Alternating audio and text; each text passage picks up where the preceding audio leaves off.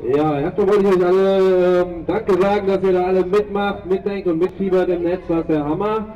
Und äh, ja, ich denke, es ist auch nicht übertrieben zu sagen, dass äh, wir nicht nur jeden Montag hier Geschichte schreiben, sondern auch mit dem, was im Netz passiert. Vielen Dank dafür.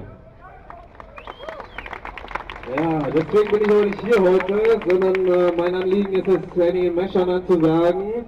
Äh, Annie war von 1991 bis 1997 Offizierin im MI5, im britischen Geheimdienst, und ist dann dort ausgestiegen, weil sie entschieden hat, dass das nicht richtig ist, was man von ihr verlangt.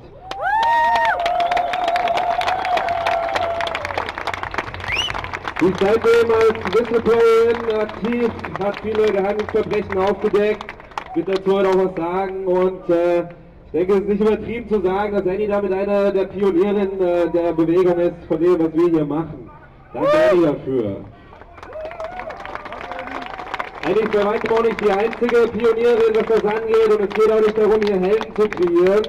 Aber es geht darum, Solidarität zu zeigen mit unseren Kompanieros, die das schon lange machen Deswegen ganz klar, Free Julian Assange, Free Bradley Manning, Free Chelsea Manning, Free Barrett Brown, Jeremy Hammond und schützt Edward Snowden. Solange diese Leute in ihrer Freiheit eingeschränkt sind oder ihre Freiheit bedroht ist, ist keiner frei.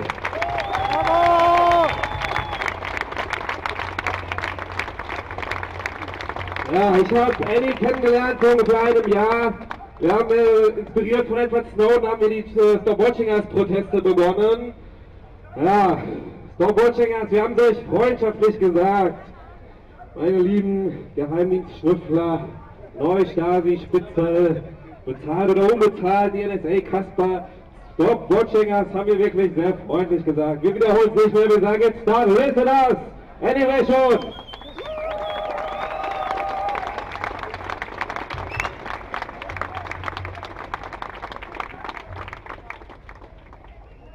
very much for such a wonderful introduction. I apologise for speaking in English, um, but I have a wonderful translator right next to me who can now translate this. Ich versuche einigermaßen sinngemäß das zu übersetzen, was uns die Anni zu sagen hat. Besser? Okay. Frieden.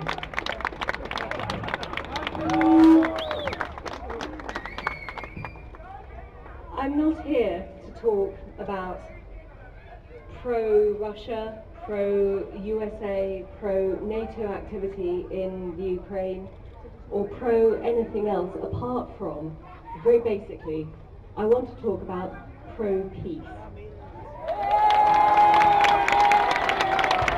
Ihr versteht das meiste eh. Die Anni und auch ich sage, wir sind nicht da, um für Russland zu sprechen, für die NATO, für irgendeine Partei, sondern für den Frieden. Pro Friede. I speak about this from a particular inside knowledge. Having worked in British intelligence in the 1990s and having resigned with my former partner to help him blow the whistle on a, a war crime in Libya where the intelligence agencies of Britain were involved in trying to assassinate a foreign head of state illegally and killing in the process innocent civilians. I'm here now to bear testimony to the fact that our intelligence agencies meddle in other countries, promote war in other countries, and create chaos and murder in other countries. Ich weiß ganz genau, wie viel kriminelle Machenschaften getätigt wurden gegen Libyen in den Geheimdiensten weltweit. Ich weiß es, also Anni sagt, dass sie das ganz genau durch ihre Arbeit und ganz sicher weiß, wie die Geheimdienste gegen Länder vorgehen, die nicht im Sinne ihrer Arbeit mitwirken. Thank you. In the 1990s, the British Foreign Intelligence Agency attempted to assassinate Colonel Gaddafi of Libya secretly, and it killed innocent people.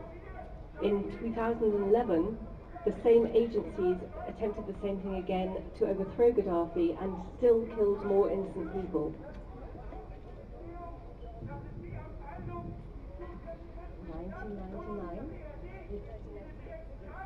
1996 haben die Amerikaner, die, gegen, also für Gaddafi, ihn unterstützt und dabei viele unschuldige Menschen getötet. 2011 nochmal dasselbe Spiel, aber diesmal gegen Gaddafi und wieder Unmengen von unschuldigen Menschen getötet. We have seen since then, time and time again, the West intervene in countries, bringing democracy or humanitarian intervention to Yugoslavia, to Iraq, based on intelligence lies, to Libya again, and they attempted it in Syria last year.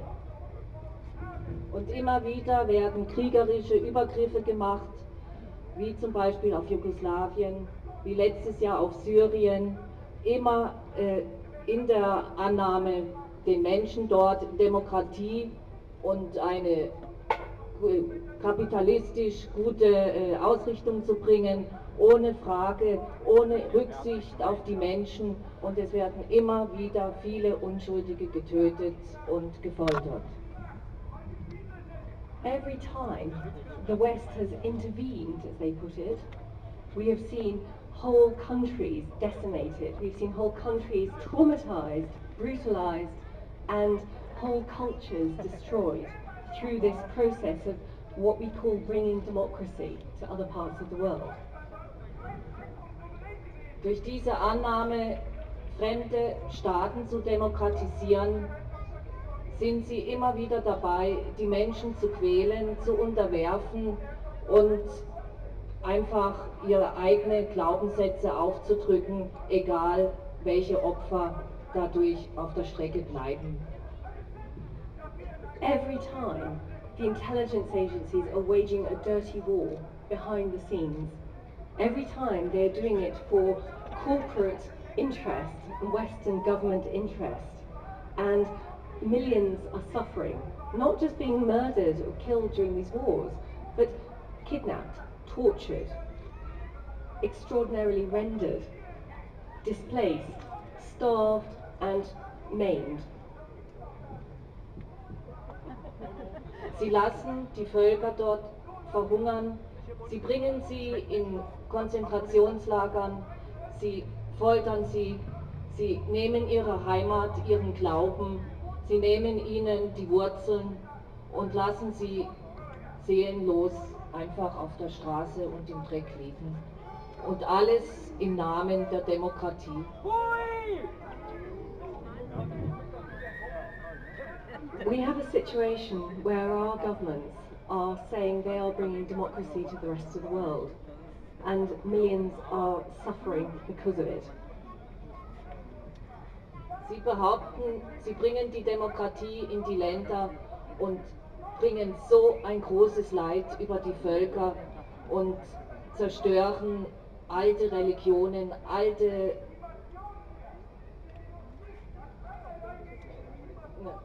bringen das große Leid und alles im Namen des Kapitalismus und der Demokratie. The question is, what can we do about it? We're seeing this being played out again in Ukraine, where the West meddled, and of course Russia pushed back. This is a mirror image of what the West attempted to do in Syria when they sent their special forces in, their intelligence people in, to try and subvert Syria and build links in Syria to try and overthrow President Assad. Sie tun immer wieder gleiche, das Gleiche uns vermitteln, der böse Russe, die bösen Syrianer, wie auch immer, und versuchen dadurch uns wieder in Angst und Schrecken zu versetzen, wie sie immer wieder in Wiederholungen über die Jahrzehnte getan haben. Und Anni fragt auch genau, was können wir mit uns selber dagegen tun, uns aus dieser Angst rauszuholen. I'm not pro one side or the other. I am pro freedom and I'm pro peace. And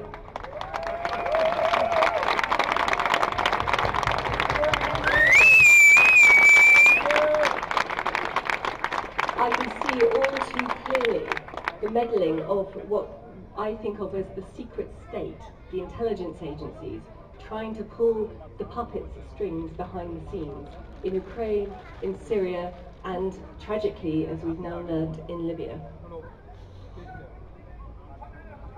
Anni sagt, wie auch ich, wir sind weder für die einen noch gegen die anderen. Wir möchten einfach auch hinweisen auf die Leute, die hinter den Vorhängen die Fäden ziehen und uns einfach dadurch äh, überstülpen mit ihren kapitalistischen Gemeinheiten zum Ausbeuten und Libyen ist wichtig im Moment. You're speaking about Libya. Ja. Und dass wir genau hinschauen, was wirklich äh, geschieht. Deswegen ist, sind auch diese Mahnwachen da, um wirklich aufzuklären, um wirklich auch eine Sicht hinter die Vorhänge, zu, den Schleier zu lüften, dass äh, was hier auch geschieht, dass immer mehr einfach auch verstehen, dass die Ängste, die uns die Regierenden einfach machen wollen, äh, zu ihren Gunsten sind und wir einfach brav daheim bleiben und weiter konsumieren und die Augen schließen.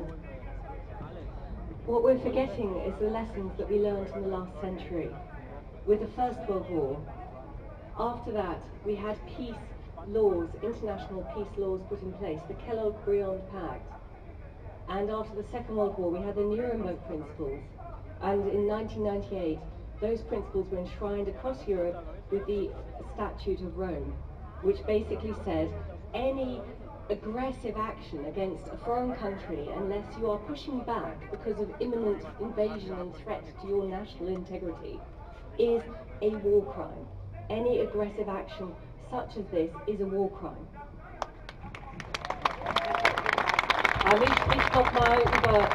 Den Kellogg-Pakt, der 1928 auf den Tisch, internationalen Tisch kam, dass jeder Krieg ein krimineller Krieg ist, also heißt, der Krieg ist, gehört vom Tisch. Es ist, es, die Leute gehörten eigentlich alle vor Gericht und auch wieder 99. Es, er gehört, es sind Kriegsverbrechen, die ablaufen, richtig.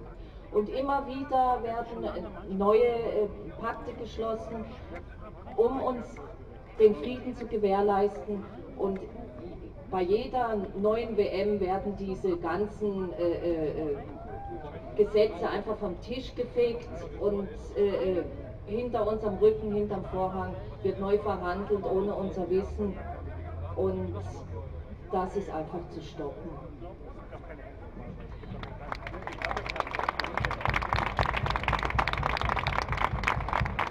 What we need to do is ensure that our governments can at least obey basic international law, and they won't do it. They repeatedly refuse to do it. They have done so with Yugoslavia, with Afghanistan, with Iraq, with Libya, with Syria, and now with Ukraine. How do we stop them? I have one suggestion that can help with this. Spricht wieder darüber, wie wir das stoppen können, dass hinter unserem Rücken alle pro-friedlichen Gesetze einfach vom Tisch geschoben werden. Und sie möchte hier eine Idee noch mit reinbringen, was wir tun können, damit wir nicht mehr hintergangen werden. Our governments ignore our wishes. We have marched in millions against all these wars across the planet. They still continue to ignore our wishes. We have been, as a result of these wars, become surveyed. We are now watched by this panopticon across the planet as well, from the NSA and from the UK and from the other spy agencies. So what can we do under that? Annie spricht darüber, wie wir überwacht werden, dass jede Minute und Sekunde ähm, die NSA, die Briten und alle die Geheimdienste einfach uns hindern wollen, uns Angst machen wollen. Und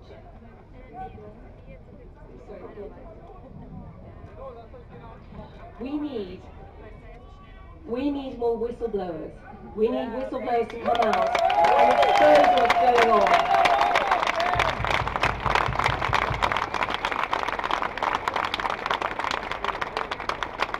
Whistleblowers are the regulators of last resort. They are the people who say enough is enough. We are not taking any more. Spricht über die mu- mutigen Menschen, die hinter den Vorhängen sitzen und endlich raustreten sollen und alles offen sagen und egal welche Ängste sie haben und welche Furcht, wie auch wir, wir stehen auch hier und sprechen, kommt raus, sprecht, redet die Wahrheit, bringt die Leute zu Fall, die uns immer wieder hinter unserem Rücken und in allen geheimen Räumen einfach unseren Frieden stehlen wollen für ihre eigene Tasche.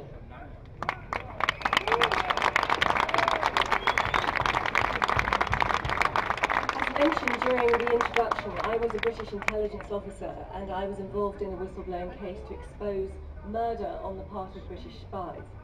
Because of that, I had to end up going on the run, live in exile, and go through court cases with my former partner. It is a terrifying experience, and this was the 1990s. Annie ist ein Whistleblower und durch ihre Arbeit war sie über sieben Jahre lang auf Run, musste sich verstecken, ihre Familie wurde bedroht, ihr ganzes Zuhause ist aufgelöst, man hat ihr gedroht, sie hatte ein sehr stressiges, nerviges Leben die letzten sieben Jahre. Jetzt ist sie hier in Berlin daheim angekommen, glücklich und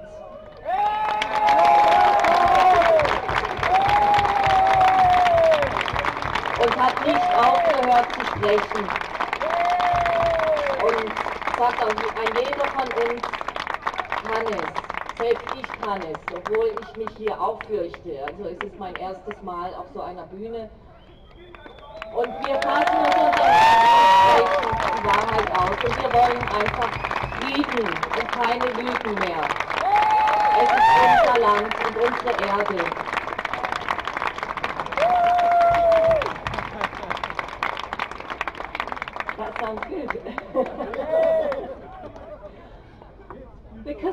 This years ago, and it was scary. It was frightening. It was terrifying.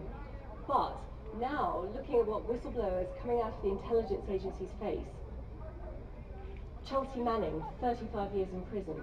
Thomas Drake from the NSA, 35 years in prison he faced. There was John Kiriakou, who is a CIA officer who exposed the CIA torture program. He is now in prison in the USA for exposing that. Quite. And now we have Edward Snowden, who has done the world's population the biggest service. He has exposed this ghastly global surveillance panopticon, and without that proof, he could not take the safe measures. Hat jetzt nochmal die ganzen Whistleblower in Erden gesetzt, die, die auch bis 45 Jahre Gefängnis bekommen haben, die man eingesetzt hat, die völlig isoliert sind und die trotzdem, die wussten es, dass es möglich ist, dass ihnen sowas passiert und sie hatten trotzdem den Mut, die Wahrheit auszusprechen für uns alle. Und es wird nicht so schlimm für den Einzelnen kommen, also die Wahrheit aussprechen und sich nicht mehr irgendwie durch Kommunismus, Atombomben und die ganzen alten Geschichten einschüchtern lassen. Auch diese Sache mit diesen Gruppierung reinpressen. Alles dieses ist nur Propaganda und das können Sie uns nicht mehr antun. Es ist vorbei.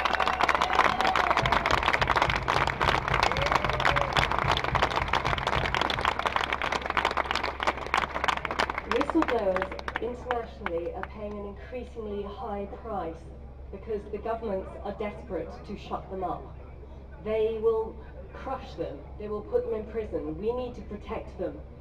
We need to show there is life after whistleblowers.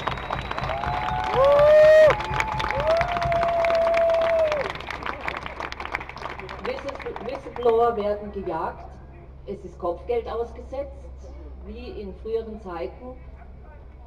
Und wenn ihr einen aufnehmen könnt oder seht, der in Bedrängnis ist oder wie auch immer, macht euer Herz auf. Schützt diese Leute. Sprecht selber, seid alle selber ein Whistleblower.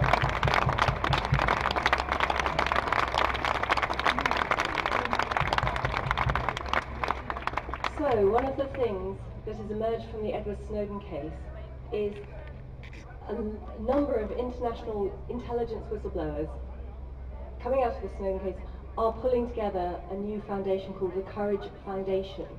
Not just to protect established whistleblowers like Edward Snowden, but of course we are there to do it, but to show it is possible to survive the process, to not be crushed, to have, build a new life, because these are people, these are heroes. They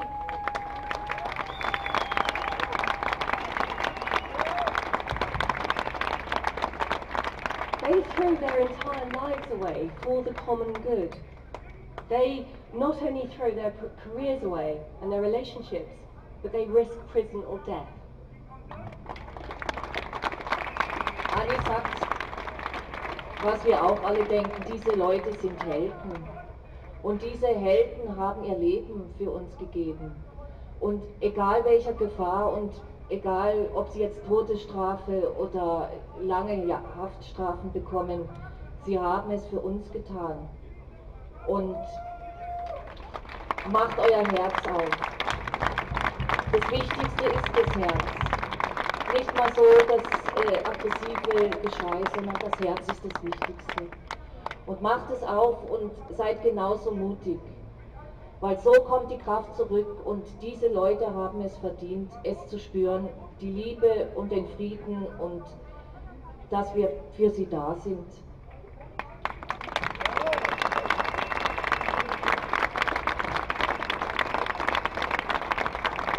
So please, please support the Courage Foundation when it is launched this summer. But also, please bear in mind, we're looking at stories around Edward Snowden, we look at stories around Ukraine, we look at stories around the Middle East. The elite are trying to divide and conquer us. It's an old tactic. Set us against each other, left versus right, east against west. It's an old dichotomy. We need to be aware that actually there is an elite that is trying to take away our liberties, trying to take away our freedoms, hard won and hard fought for in the Second World War and after. So please don't let them do that.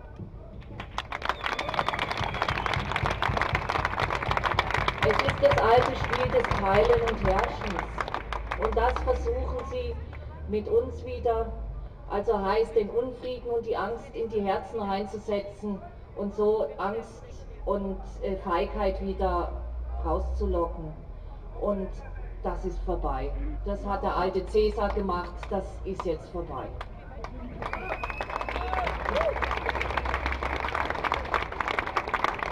I just want to say a huge thank you to all of you for taking the time to come and support this initiative, um, to show the interest in peace, not war, in supporting freedom, not tyranny. And that is what we need to continue to fight for because these freedoms, these rights, are so precious and so many people seem to not care. They just give them away. So spread the word and let's keep fighting for them and keep our freedoms get.